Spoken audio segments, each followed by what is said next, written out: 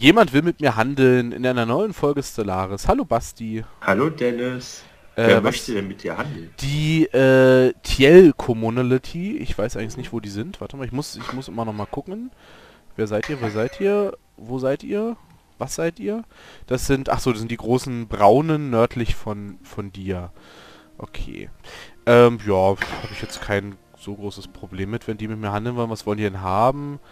Das Garantium-Erz, von mir aus, wenn sie mir Mineralien dafür geben, dann kann ich nämlich mehr, na, wer wird's erraten? Wer wird's erraten? Ja, mehr Habitate bauen, genau. Ihr habt's verstanden. Habitate.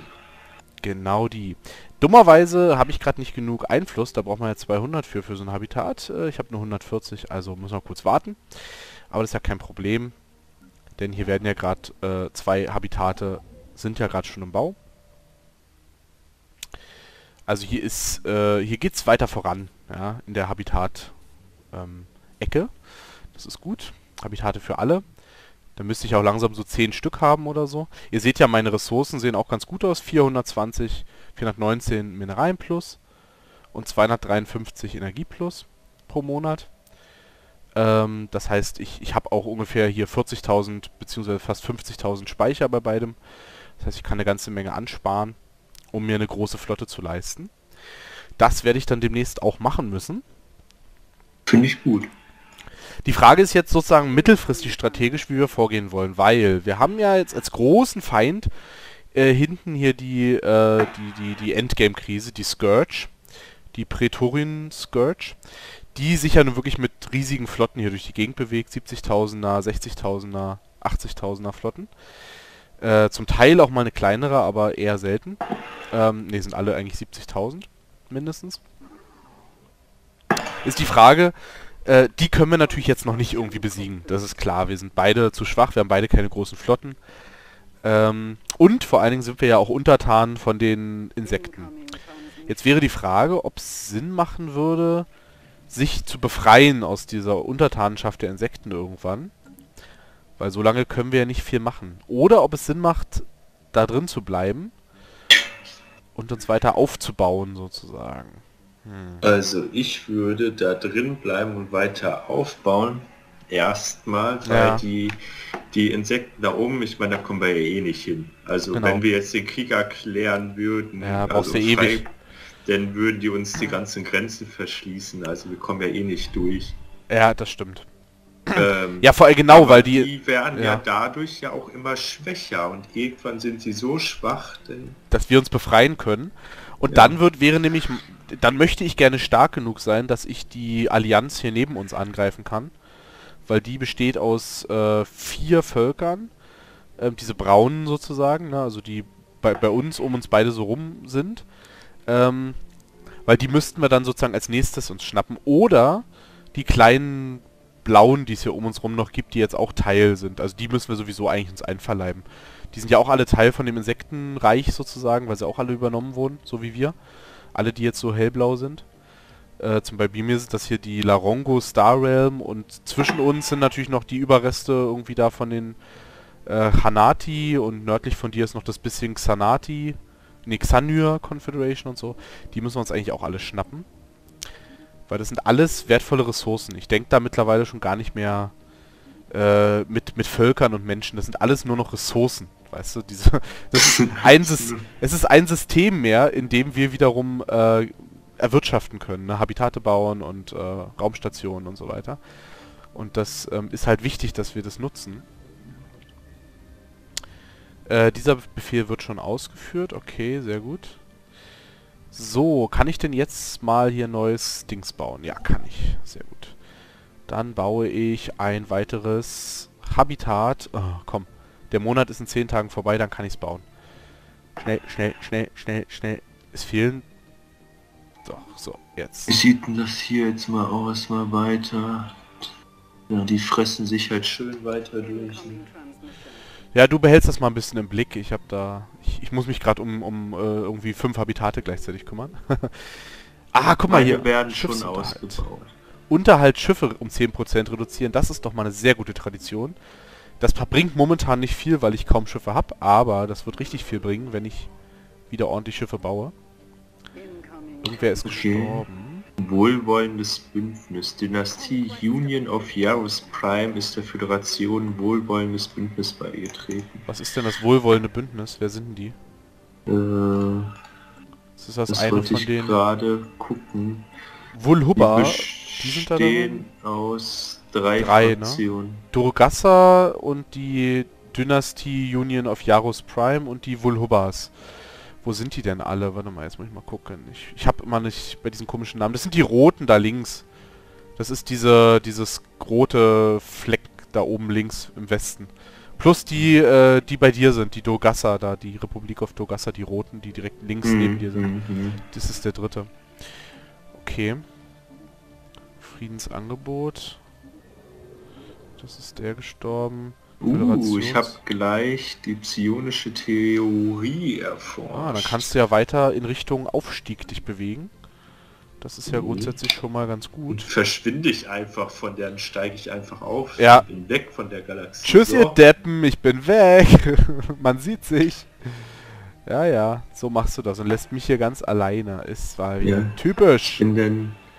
Typisch ist das. Bin dann voll der Pro. Ja. Du bist dann einfach ganz woanders. So so mag ich das. So mag ich das. So, okay, was kann ich jetzt? So, ich baue mal gerade noch ein bisschen meine Hm. Schiffswerften äh, Werften aus. Die ist da oben. Da brauche ich keine Verteidigung. Das heißt, hier kann ich einen Handelsknoten auch noch bauen. Ähm, Ressourcensilo. Ich brauche auch noch ein paar mehr Ressourcensilos, weil ich äh, gerne möglichst viel Ressourcen auf dem Konto haben möchte, bevor ich irgendeinen Krieg anfange oder sowas. Ähm, hier noch zwei Ankerplätze. Dann... Oh, ich habe keine Nahrung mehr. Wieso habe ich keine Nahrung mehr? Äh, was da jetzt passiert? Muss ich gleich mal gucken. Ähm, das ist schlecht.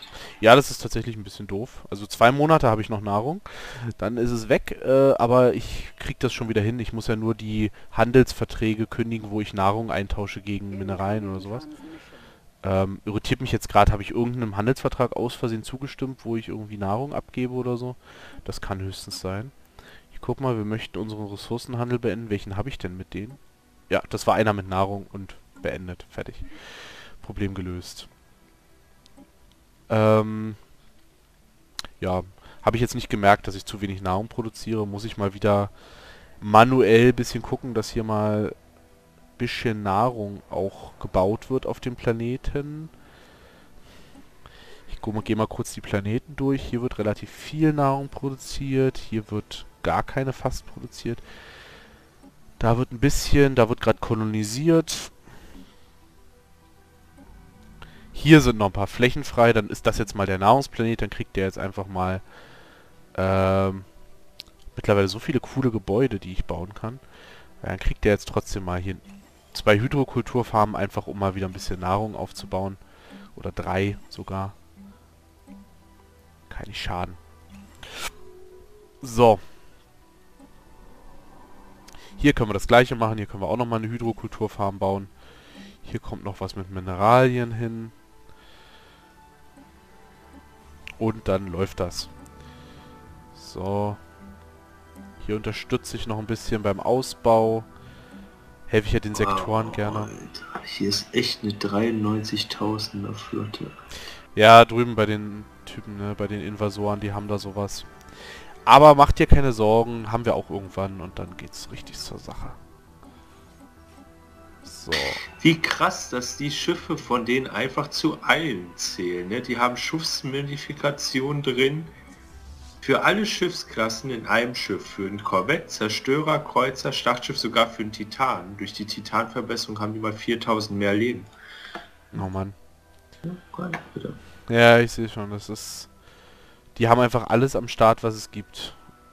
Und dann auch noch unterhalb minus 5%. Das heißt, die zahlen nicht mal was dafür. Nein, also 5% weniger. das ist Ja, gemein. Das ist Aber das gemein. krasse ist halt, dass ein Schiff von denen halt quasi alles ist. Ja, Also wir können ja einen Titan, glaube ich, nicht eine Korvette-Verbesserung reinpacken. natürlich nicht, nee. Titanen gehören Titanenverbesserungen rein. Ja, und die packen halt in ein Schiff einfach alles rein. So. Schweinehunde. Ähm, So, jetzt erforsche ich das. Dann habe ich nämlich mehr Speicherkapazitäten hier. Klimawiederherstellung, ökologische Anpassung. Oder erstmal den Alien Zoo. Erstmal, wir sind gerade... wissen, Ja. was, Was so eine? Brutmutter hat. Musst du dir angucken, was die hat. Möchte ich das wissen? Nein, natürlich nicht. Äh, Mhm. wo wird denn Nee, das. Ding gebaut? Da wird's gebaut. So.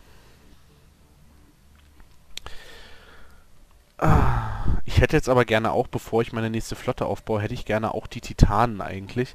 Ist die Frage, wie ich da schnellstmöglich hinkomme, forschungstechnisch. Ist nicht so einfach.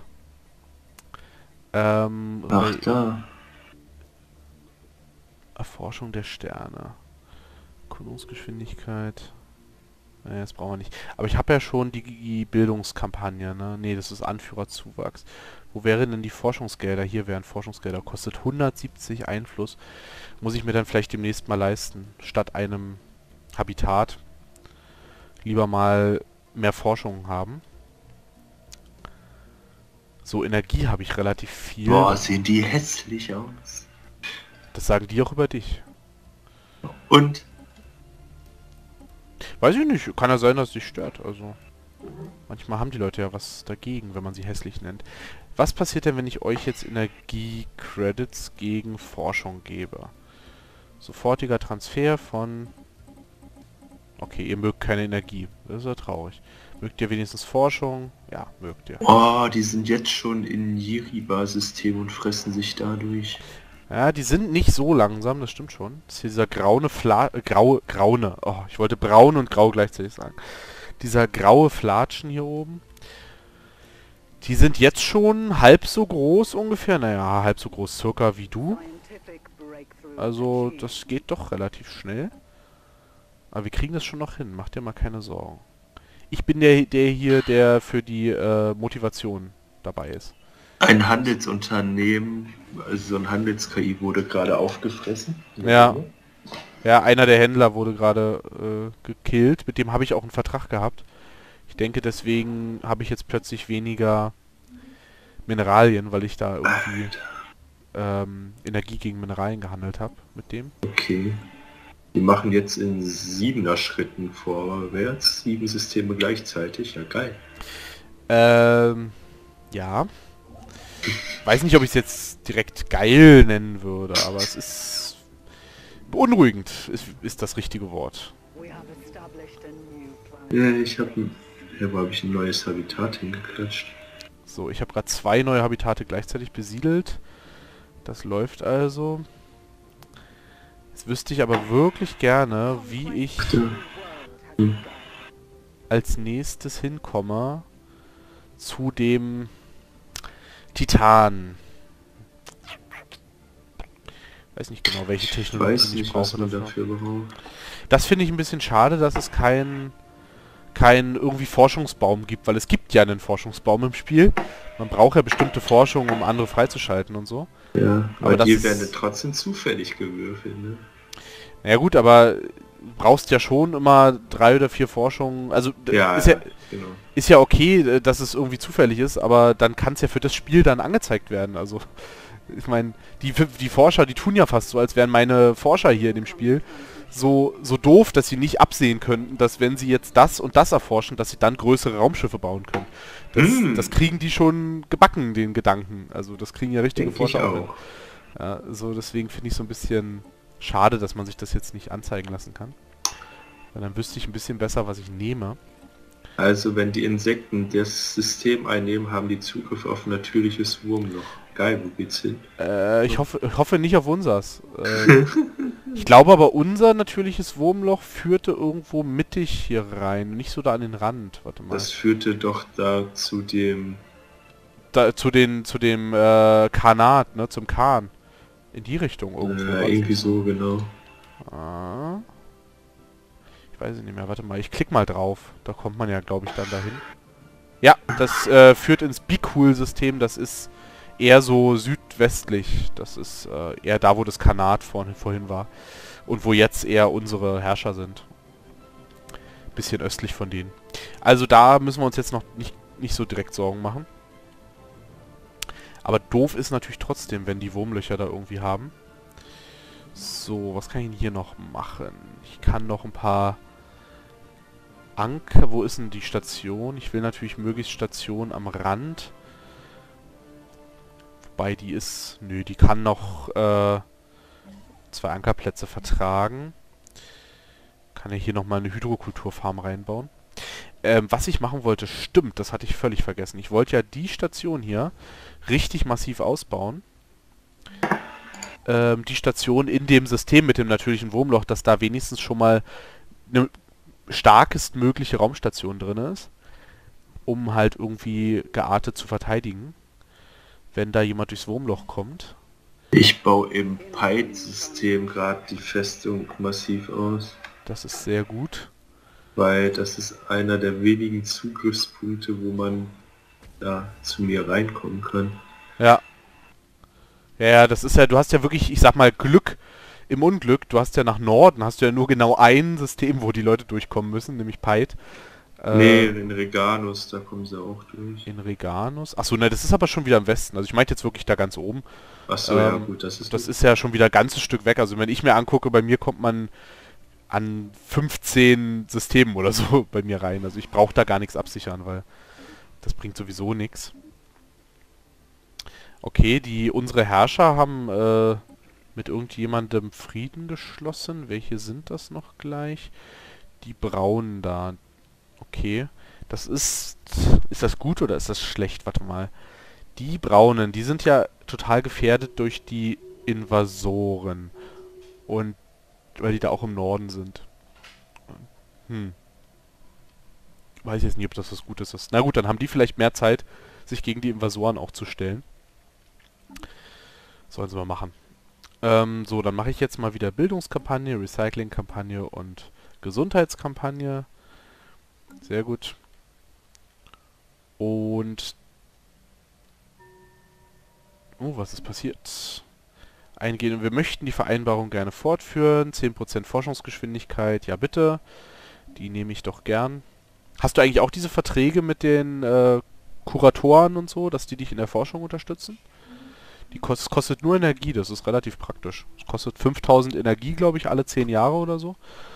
Und äh, dafür kriegst du 10% mehr Forschungsgeschwindigkeit. Mhm. Das ist äh, Kann geil. jetzt meisterhafter Erbauer erlernen. Dadurch kriege ich, also als Tradition, Aufstiegsvorteil, Aufstiegsvorteil ja. dadurch kriege ich die Technologieforschungsoption Megabauwesen. Ja, das solltest du machen, würde ich mal sagen. Ich kann aber auch Jetzt kommt's. Verstand über Materie freischalten, erhält technologische Forschungsoptionen im Baum Telepathie. Ja, okay, das ist natürlich für dich, du wolltest das ja machen, wieder mal. Aufsteigen. Ich weiß Sicherlich gar nicht, was ich mit denen vorhatte, ehrlich gesagt. Ich habe es vergessen. Na, äh, vor zwei, drei Folgen hast du noch gesagt, so, ach, warum eigentlich nicht da auch mal ja, wieder... Ja, wegen diesen telepathischen Soldaten, genau. Ja. ja, stimmt, stimmt, stimmt. Warum nicht in die Richtung gehen, so könnte man Aber ja machen. Megabauwehrwesen würde es mir helfen, mehr Ressourcen auf Dauer zu Du hast halt, du hast halt tatsächlich diesen großen Nachteil mit dem äh, mit dem Planeten und deswegen ist das vielleicht gar nicht so schlecht, da mal noch irgendwo eine eine Dyson-Sphäre hinzusetzen oder einen, äh, eine Ringwelt oder sowas. Ach so, das ist jetzt stufenweise Kacke. Ich brauche das. Okay, du musst jetzt Aufstiegsvorteil meisterhafter Erbauer machen, um Technologieforschung zum Megabauwesen zu genau. kriegen, um damit wiederum galaktisches Wunder freizuschalten. Genau, das brauchst du alles. Deswegen ähm, muss man da relativ lange vorausplanen sozusagen. Incoming Transmission. Forschungsabbau. Bei dem anderen Verstand über Materie, dann kann ich Transistenz. Technologiestufe ebenbürtig. Hm. Äh, ablehnen. Hier wollte mir gerade einer Forschungsabkommen andrehen, wo ich aber 3000 Mineralien zahlen soll, obwohl der mir ebenbürtig ist technologisch. Also da habe ich nicht viel von. Naja, lassen wir das. Na, was machst du jetzt? Das, da, da, weiß er wieder nicht, was er machen soll. Wüsste ich jetzt auch nee, nicht. Weiß ich jetzt gerade echt nicht. Es ist beides vorteilhaft. Ich erforsche aber meisterhafter Erbauer. So. Ja. Mal so eine schöne Dyson-Sphäre irgendwo hinstellen, irgendwann ist doch auch was Feines. Hoffe ich. Ist doch was Feines. Ja, da haben wir dann wenigstens richtig was von. Da kriegst du ja dann 1000 Energie raus, wenn das Ding fertig ist. Und äh, also erst 250, dann 500, dann irgendwann 1000 und ähm, das lohnt sich dann richtig. 1000 Energie, dann kann man ja ganz viele andere Sachen äh, auf, von Energie auf Mineralien zum Beispiel umstellen und hat dann einfach viel mehr Ressourcen. Das ist schon ganz praktisch. Mhm. Ähm, Aber da musste man jetzt echt erstmal überlegen. muss schon mal Ne? Überlegen. beides extrem. Ist beides nicht schlecht, das stimmt. So, gut, würde sagen, wir machen eine kleine Pause. Ich habe irgendwie hier ganz viele, was sind denn das eigentlich für komische Leute, die hier bei mir rumfliegen? Ich habe hier irgendwie 70.000er Flotten von irgendwelchen fremden Leuten, die bei mir rumfliegen. Vielleicht sollte ich denen mal irgendwie den die Grenze schließen, ehrlich gesagt. Finde ich das nicht so geil. Ich meine, mit dem bin ich jetzt nicht feindlich oder so. Aber die Tiel, die sind meine Nachbarn, aber trotzdem müssen die nicht mit ihren 70.000er Flotten bei mir durchfliegen. Ach toll. Untertan diesen schließt die Grenzen keinig. Kann Zugang. ich darf den nicht schließen, die Grenze. Ist ja geil. Gehören die zu uns eigentlich? Müssten ja dann Kann dementsprechend. sein, wenn du die schließt. Weil dann kann ich, dann macht das ja Sinn, ne? Also. Tiel, welche sind das? Das sind die anderen, die, das sind hier die Nachbarn. Die gehören aber garantiert nicht zu uns. Wieso darf ich den, darf ich den wenigstens die Grenze schließen? Auch nicht. Ich darf überhaupt nichts mehr machen, ey. Mann. Scheiß Insekten. äh, li- liebe, nette Insekten. Entschuldigung, Entschuldigung. Okay, da sammelt sich eine neue Flotte. Ich habe auch vergessen, mein Dings auszubauen. Mein äh, Habitat. Ah, ich bin so vergesslich. Bauen wir Und mal die Insekten frühstücken die Flotten wieder auf. So muss es sein. So yum, nicht yum. anders. Die haben ihren Spaß. Naja, das ist doch wichtig, dass sie ihren Spaß haben. Das ist das Allerwichtigste. So. Die haben echt keine Chance aktuell. Ach, keiner hat eine Chance gegen die. Das ist das Problem. Doch. Und Wie- die Person, die eine Chance hat, tut halt einfach nichts. Ja, tut mir leid, ich habe gerade andere Sachen zu tun. Wer redet von dir? Ach so, ich dachte, Manu. Ja, die doofen Insekten machen halt nichts und auch alle anderen nicht. Mano. Aber das äh, Problem, dass niemand irgendwas tut, was man, wenn man will, dass es richtig gemacht wird, muss man es selber machen. Genau das äh, sehen wir hier und das sehen wir auch nächste Folge wahrscheinlich wieder bei Stellaris. Wir müssen noch dazu sagen, äh, es ist jetzt mittlerweile schon der neue Patch rausgekommen und der neue DLC. Wir spielen jetzt hier äh, bewusst noch die alte Version weiter, weil äh, wir schon noch ganz gern sehen wollten, was das hier noch wird mit dieser Endgame-Geschichte. Ich glaube, so weit waren wir noch bei keiner Staffel so richtig, oder? So einmal bei der vorletzten oder so waren wir ähnlich weit. Also auch so Einmal im wurden wir besiegt. Einmal wurden wir besiegt, das stimmt. Aber einmal hatten wir auch schon, das war aber noch die alte, natürlich die alte Version von Stellaris, äh, wo noch die ganzen Größenverhältnisse anders waren, die Flottengrößen und so. Da hatte ich dann auch schon mal eine hunderttausender Flotte oder sowas. Ähm, das war, glaube ich, die vierte Staffel. Äh, aber ich würde schon sagen, wir sind jetzt im Endgame wieder mal von so einem Spiel und wir sind zumindest so weit, wie wir es bisher selten waren. Ich würde also schon ganz gerne noch sehen, wie, wie wir jetzt hier noch weiterkommen. Äh, deswegen spielen wir noch ein bisschen bewusst in der alten Version weiter. Aber wir wollen euch natürlich dann auch irgendwann die neue neuen DLC und so zeigen. Aber das hat ja vielleicht Ja. auch noch ein paar Tage Zeit. Ne? Genau. Gut, Leute, bis zum nächsten Mal. Ciao. Bis dann. Ciao, ciao.